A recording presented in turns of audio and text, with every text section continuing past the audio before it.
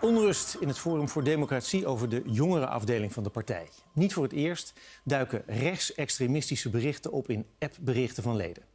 Thierry Baudet wil eerst een onderzoek daarnaar afwachten, maar partijprominenten zeggen dat er harder moet worden ingegrepen. Ze willen dat er schoon schip wordt gemaakt. Het jongerenbestuur is tijdelijk teruggetreden.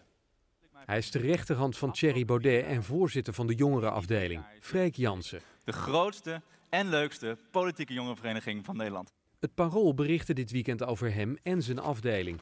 Leden met homofobe en extreemrechtse ideeën liet hij blijven en klokkenluiders zou die royeren.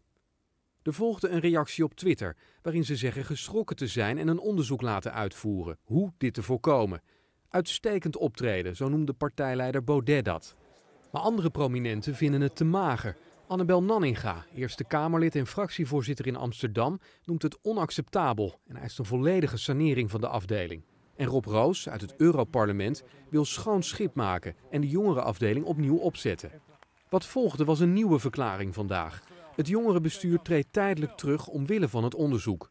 Ook dat vond Baudet uitstekend. Eerste conclusies afwachten, zo schreef hij.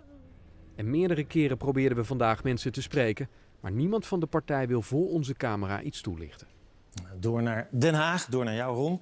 Uh, er is vaker gedoe geweest hè, rond die jongerenafdeling, rond appgroepen. Wat is er anders deze keer? Uh, dat het uh, deze keer belangrijke forumpolitici zijn die het spuugzat zijn. En ze komen voor een flink deel uit de eerste ring rond partijleider Thierry Baudet tot Theo Hiddema aan toe. Uh, ze zijn het uh, zat dat het maar blijft dooretteren met die nazi-sympathieën en dat er niet wordt ingegrepen. En dat zij zich steeds moeten verdedigen tegen het feit dat ze actief zijn voor zo'n partij. Terwijl zij juist van die partij een belangrijke beweging willen maken met invloed. En dan helpt dit niet natuurlijk. Nee. En daarmee is dat ook kritiek op Thierry Baudet.